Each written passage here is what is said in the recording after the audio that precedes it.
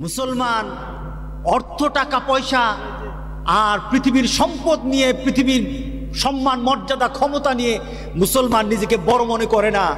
মুসলমান বড় মনে করে ইমান নিয়ে, আমল নিয়ে। সোমান আল্লাহ বলেন না? আজান হবে, আমি আর কাজে থাকব না। আজান হবে, আমি আর কারও সাথে বসা থাকব না।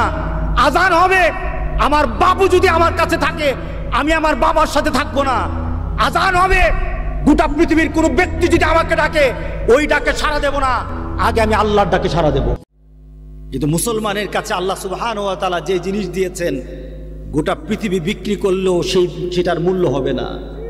সেটার নাম কি? ইমান বলেন, সেটার নাম কি? ইমান যে মুসলমানরা ইমান বুঝে না, তারা আল্লাহকে চিনে না।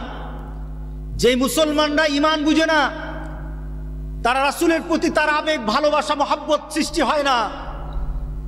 যেই মুসলমানরা ইমান বুঝে না, তারা কবরে গরু, ছাগলের মতো যায়, মুমিনের মতো যায় না। যেই মুসলমানরা ইমান বুঝে না, কাল হাসুরের দিন তারা নবী রাসুলের দিকে সাথে থাকবে না, তারা আবু জাহেল, আবুল হবের সাথে থাকবে। কথা ঠিক আছে কিনা বলেন?